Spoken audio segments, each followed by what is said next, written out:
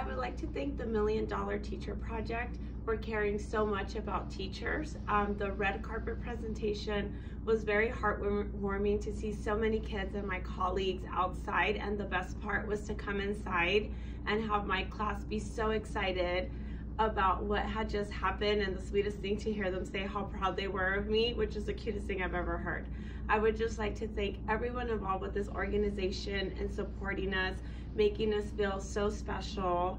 A million thank yous to everyone that works with the Million Dollar Teacher Project and thank you for always thinking about us.